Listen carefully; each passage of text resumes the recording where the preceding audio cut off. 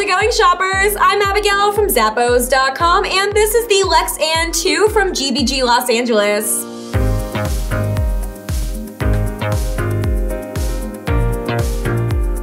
These stylish sandals are crafted with a textile upper that has this pretty metallic shine to it.